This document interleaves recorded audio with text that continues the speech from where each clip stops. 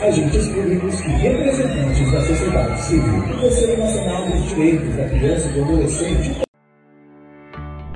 Poder Monitor, a ferramenta mais completa para monitorar os três poderes. Acesse agora poder.cc/monitor e ganhe 30 dias grátis.